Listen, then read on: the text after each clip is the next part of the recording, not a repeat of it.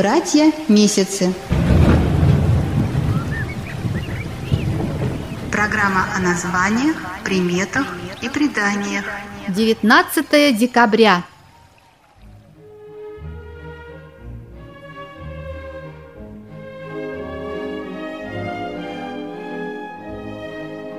По одному из древних календарей у славян в этот период день успокоения. По народному месяцу слову Никола Зимний. В этот день христиане чтут память святого Николая Угодника, или как его еще называют, чудотворца. Родился в Малой Азии в греческой колонии Патара в римской провинции Ликия. Конец третьего, середина четвертого веков. В народном земледельческом и церковных календарях отмечают два Никольских дня – 22 мая и 19 декабря, которые связаны друг с другом и предопределяют один другого. Николай Чудотворец почитается на Руси заступником от любых бед и несчастий. Никола Милостивый, по народным представлениям, мудрый святой старик, который вечно ходит по дорогам России, совершая чудеса, помогая тем, кто трудится, не покладая рук, и ведет праведный образ жизни. В отличие от других святых, Никола не только молится, повелевает, указывает, предостерегает.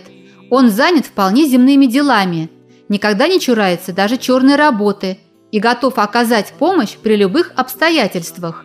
Сам идет за плугом, помогает мужику вытащить воз из грязи, берет в руки корабельный руль во время бури и благополучно доводит судно до пристани, лечит простых смертных и прочее.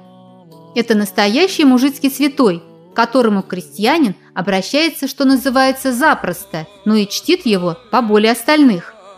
Николе посвящено огромное количество сказаний, легенд, духовных стихов, молитв, заговоров, пословиц и поговорок, где он выступает как покровитель земледелия и скотоводства – хозяин земных вод и хранитель на водах, податель нищим и спаситель невинно осужденных, чудесный врачеватель.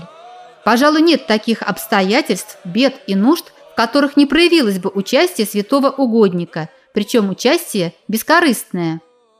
А ведь в древности, в славянском мире, все, чем наделили Николая Чудотворца, представлял Дождь-Бог. Тарх-Дождь-Бог – податель всяческих благ, счастья и благополучия – избавитель от сил темного мира. Он совершал благие деяния, помогал людям обживать бескрайние просторы на земле. Бог Тарх указывал, на каком месте лучше всего разместить поселение. Бог плодородия и солнечного света, лета и счастья, живительной силы. Бог, помогающий людям в трудных жизненных обстоятельствах. Дождь Бог и сейчас всегда помогает тем, кто трудится во благо рода своего, живет по совести и в ладу с природой-матушкой. С Николы устанавливается настоящий зимний путь, и в деревнях начинаются приготовления к извозам, подрядам, продаже хлеба. Открываются Никольские ярмарки, где главным товаром является хлеб. Хотя в некоторых местах такие ярмарки имели свой специфический характер, обусловленный особенностями хозяйственной деятельности, где Никольский обоз для боярской казны дороже золота – и Никольский торг всему указ. В России еще отмечали Никольщину, праздник стариков, но в нем было отведено свое место и молодежи, веселым вечеркам, гаданиям, хороводам, играм. В Воронежском крае зимой начало сватовства, тоже зафиксировано и в нижегородских землях. На этот счет бытовали пословицы и поговорки. У доброй свахи женихи с невестами все на пересчете – Худ жених сватается, хорошему путь кажет. Не заламывай рябину, не вызревшу, не сватай девку, не вызнавши. Один женился, свет увидел, другой женился, свет не взвидел, с головой пропал. Добрую женою и муж честен. Святой Николай считается покровителем земледелия и пчеловодства, всякого домашнего скота и диких зверей – его культ связывают с загробным миром и с культом медведя. А ведь еще с древности эти качества нес в себе бог славян Велес. Почитали Велеса и как управителя зимними морозами, посему звали его Дедом Морозом. Праздник, когда дети показывают свои знания и умения, и те, кто действительно достиг больших успехов, одариваются подарками от Деда Мороза. Мороз Велес – покровитель и всех зимних занятий, которые проходят вне дома, в том числе и торгов. С Николы начинались молодежные святочные посиделки. Девушки и парни договаривались об откупе избы у какой-нибудь бедной одинокой старухи или у вдовы, заготавливали дрова, лучины, принимались за изготовление святочных масок и костюмов для ряженых, чтобы потом разыгрывать пьесы и сценки во время предстоящих святочных гуляний, куда входит и Каледа, день рождения нового солнца. В этот день примечали. Никола зимняя лошадь на двор загонит, Никола вешний лошадь откормит. Какой день в Миколу зимнего, такой и в Миколу летнего. Коли зима до 19 ноября след заметает, дороги не стоять.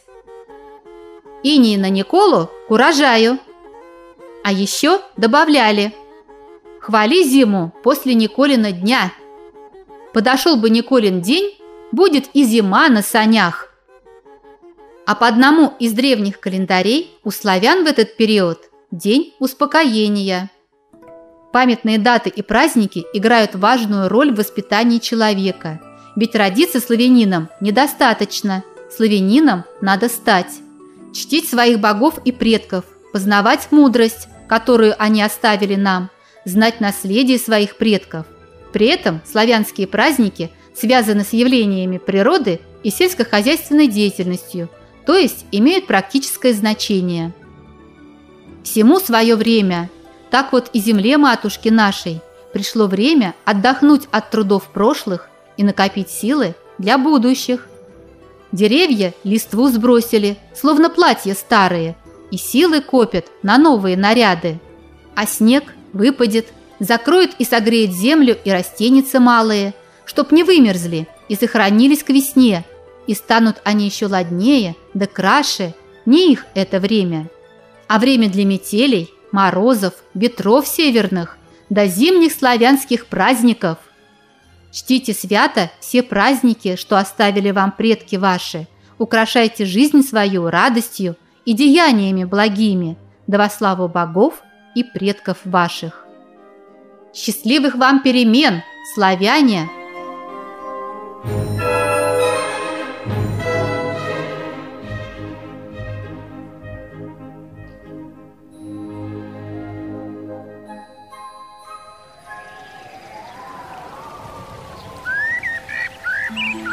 Братья месяцы.